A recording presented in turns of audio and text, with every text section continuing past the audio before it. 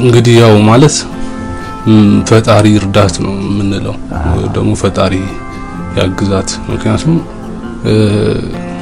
የተፈጠረው ወይ ደግሞ እሷ ላይ አሁን ሊወሰን የሚታሰበው በቻይና ሕግ አንጻር ሞት ነው የሚያስቀጣው እና ይሄ ደግሞ ገና አልተ happen አላረገም ገና እና እኛ ኢትዮጵያውያን ወይም ደግሞ መንግስትም በተሻለ በተለያየ በ social media ብዙ ነገሮች እያልን ነው። እንዴት አላችሁ የኢትዮ ኢንፎ ተከታታዮች? ስለምታደምጡን እናመሰግናለን። subscribe ስለምታደርጉም እናመሰግናለን።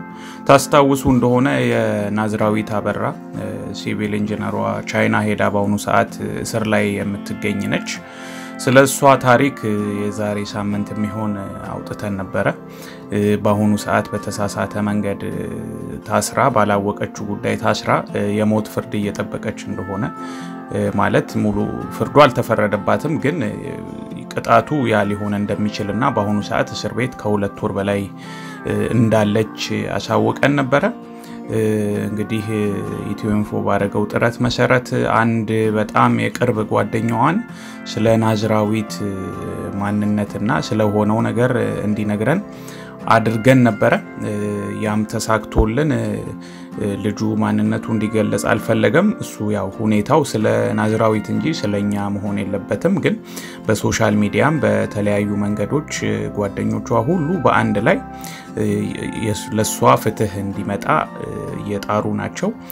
በዛም ውስጥ ስለሆነ ኢትዮ ኢንፎም እየተሳተፈ ያለው ያንን ነገር ድምፁ እንዲሰማ ማንነቱ ግን እንዲገለጽ በቪዲዮም በምስልም አልፈለገም። እዚህ ላይ የምንጠቀማቸው ሁሉም ፎቶዎች የናዝራዊት ፌስቡክ page ላይ ያገኘናቸው ናቸው። ብቻ ዋናው ቁም ነገሩ የእሷ እውነቷ የእሷ ማንነት የተፈጠረውን ነገር እንዲያስረዳና ይህም ድምፅ በሁሉም ኢትዮጵያዊ ጆሮ ገብቶ ይሄ ዜና ጠቅላይ ሚኒስትር ቢሮም ከደረሰና ጉዳዩን በዛም መልክ ሊከታተሉ ከቻሉና ሊያረጉት የሚችሉትን ነገር ካለ ከተደረገ በጣም መልካም ነው። ስለ ሆስቴስ ስለተባለችው ጓደኛዋ ብዙም የሚያውቀው ነገር እንደሌለና በዛ ላይ ብዙም comment አልሰጠም። ብቻ ቅርብ በጣም እጅግ ቅርብ ጓደኛዋ እንደሆነች እንደነበረች አብረውም ሊሄዱ እንደነበር ይናገራል። ብቻ አሁን እንግዲህ ከእሱ ጋር የነበረንን ቆይታና የሰጣቸውን መልሶች እንድትከታተሉ እንጋብዛለን። እጅግ እናመሰግናለን። እኔና ናዝሪ የምንተዋወቀው አምስት ኪሎ ዩኒቨርሲቲ አብረን ተማሪዎች ነበር። ሁለታችን በሲቪል ነው ግራጁዌት ያደረግነው። እኔ አንድ ሲኒየሯ ነኝ። አብረን ደግሞ ከዛ በኋላ የስራ ቅጥር ቦታ ላይ አብረን ተቀጥረን ነበር የምንሰራው። አማካሪዎች ጋር ከአንድም ሁለት ድርጅት አብረን ሰርተናል። ከአሁን ተያዘች ተብሎ እንትን ከተባለበት ጊዜ አንጻር ራሱ ከሁለት ወር ከሶስት ወር በፊት ምናምን አግኝቻታል። ያው ሁለት ወር ሆናት ከታሰረች። ያው ይሄ ነው። ናዝሪን በደንብ አውቃታለሁ። ማለት ጓደኛዬ ብቻ ሳትሆን እህቴም ናት። ቤት ተከራይታ ስትኖር አብራን ብዙ ነገሮች ነው አብረን የምናሳልፈው እንደ ጓደኛ አብረን ከስራም መልስም አብረን ነው የምንውለው እና ብዙ ላይፏን የራሷን ያክል 100% ባይባልም በደንብ ማውቃት እና እንደዚህ አይነት ነገር ውስጥ ትገባለች አሁን የተባለው ወይ ደግሞ የተያዘችበት case ላይ እንደዚህ አይነት ነገር ውስጥ interfere አደርጋለች ወይ ትገባለች ብሎ ማሰብ ይከብዳል። ምክንያቱም እሷ እንደዚህ አይነት ነገር personality እንደዚህ አይነት personality የላትም። በደንብ አውቃታለሁ። አዎ አሁን እሷም የተያዘችበት ጉዳይ ያው ሻምፖና ጓደኛዋ የሰጠቻትን human hair ይዛ ነው እንግዲህ ስትሄድ እንግዲህ ሻምፖ ውስጥ አደንዛዥ ተገኝቷል ነው ተብላ የተያዘችው እና ያንን ደግሞ የሰጠቻት ጓደኛዋ ናት። ጓደኛዋ አብሮ አደጓ best ጓደኛዋ በጣም የምትቀርባት ጓደኛዋ ማለት ነው። እና ያው የዛ አምስት አካባቢ አምስት ሻምፖ እና ሁለት human hair እንደዛ ነው ይዛ የሄደችው ያው ለሰው ለማቀበል ማለት ነው። እዛ ለምታደርሰው እዛ ሰው ሰው ጋር እንድታደርስላት ነው። አብረው ነበር ሊሄዱ የነበረው አብረው ሊሄዱ ታስበው መጨረሻ ላይ እሷ ሀሳቧን ቀየረች የገጠማት ነገር እንዳለና አንቺ ደርሰሽ ደውይልኝ ወይ ደግሞ contact አድርጊኝ ከዛ address ኡን አሳውቅሻለሁ አለቻት። እዛ ደርሳ እቃውን ለመመለስ ወይ ደግሞ ሰዎቹ ጋር ለማቀበል ማለት ነው። በመሀል እዛ ሳይደርስ ምንም አድሬስም ሳትለዋወጥ ኤርፖርት ውስጥ የያዘች ማለት ነው። አዎ ያንብቤ ያለ የተለያዩ እንትኖች ላይ እንደ ነጋዴ ኦር ደግሞ ይሄ ግል ኢንተርፕረነር ብዙ ተብሎ የተጻፉ ነገሮች አሉ። እንግዲህ ያው ቻይና ስቲል የመጀመሪያው ነው እና ንግድም አይደለም የምሰራው ጀስት ጓደኛዋ for visiting አብረው ነው ሄዱት። ጓደኛዋ ሆስተስ ስለነበረች እና እዛ ሄደው ያው ማንም ሰው ከሀገር ውጭ ሲወጣ ከሀገር ውጭ ይዟቸው የሚመጣቸው ነገሮች ሊኖሩ ይችላሉ። ብር ይዞ ከሄደ ከዛ አንጻር እንደዛ አይነት ነገሮችን ይዞ ለመምጣት ምናምን እንደዛ በእንደዛ መልኩ አስባ ይሆናል እንጂ እንደዚህ ነጋዴ ምናምን አይደለችም። ያው እሷ ኢንጂነር ነች። construction ላይ ነው የምትሰራው፣ site ላይ ነው የምትውለው። አዎ እንደዚህ አይነት ነገር ያው ማለት ማንም ሰው specially ኢትዮጵያዊ እንደዚህ አይነት ነገሮች ላይ በሌላ angle ማየት አይችልም። ያው culture ኡም በእንደዚህ አይነት ነገርም እንታወቃለን። ሰው በመረዳዳት ወይም ደግሞ ሰው አድርስልኝ ብሎ ሲልክህ ልታደርስ ትችላለህ። ሌላ ሌላ ነገር አትቀምርም፣ ሌላ ነገር አታስብም፣ ይሰራብኛል ምናምን ብለህ ምክንያቱም እንደዚህ አይነት specially ደግሞ ከገዛ best ጓደኛ አብሮህ ሊሄድ ነበር ከዛ ድንገተኛ በሚል አይነት ነገር ቀርቶ እንደዚህ አይነት የሆነ setup ምናምን ነገር ታስቦ ምናምን ይሄን ሁሉ logic አታስበው እና ማንም ሰው ሊሸወድበት የሚችለው አይነት ነገር ነው። እሷን የሸወዳት እና እንደዚህ አይነት ነገሮች happen ማድረግ የለባቸውም። እሷ አሁን መማሪያ መሆን አለባት ለሌላውም ሰው። አብዛኛው ሰው ይህንን ነገር አስቦ calculate አድርጎ ብዙ እንትን ውስጥ አይገባም። ግን ከዚህ በኋላ ይሄ ታሪክ ትልቅ ነገር ይፈጥራል። ሁሉም ሰው ሰውን አምኖ የተባለውን እቃ አድርስ ተብሎ ሲሰጠው የተሰጠው እቃ ምንነት በደንብ ቢያረጋግጥ የተሻለ ነው፣ ለራሱም safety ሲባል ማለት ነው። አዎ የሆነ የተፈጠረው እንግዲህ የተፈጠረው አጋጣሚና ወይ ደግሞ እሷ ላይ የሆነው የተከሰተው ነገር በጣም አሳዛኝና በቃ ዘግናኝም ይባላል። በጣም ነው የምታሳዝነው። በደንብ አውቃታለሁ። በደንብ ጓደኛዬ ናት። አብረን ነው የምናሳልፈው፣ አብረን ብዙ ጊዜ እናሳልፋለን ማለት በደንብ ማንነቷን አውቃለሁ። እና እንደዚህ አይነት ነገሮች የሚገባ ሰው አይደለችም። actually ማንም ሰው አይድረስበት እንደዚህ አይነት ነገር ግን በጣም ታሳዝናለች። እና እንደዚህ አይነት እንግዲህ ያው ማለት ፈጣሪ እርዳት ነው የምንለው፣ ደግሞ ፈጣሪ ያግዛት። ምክንያቱም የተፈጠረው ወይ ደግሞ እሷ ላይ አሁን ሊወሰን የሚታሰበው በቻይና ሕግ አንጻር ሞት ነው የሚያስቀጣው እና ይሄ ደግሞ ገና አልተ happen አላረገም ገና እና እኛ ኢትዮጵያውያን ወይም ደግሞ መንግስትም በተሻለ በተለያየ በ social media ብዙ ነገሮች እያልን ነው። ከጓደኞችም ጋር አብረን ሆነን የሆነ ነገሮችን ለመፍጠር እየሞከርን ነው።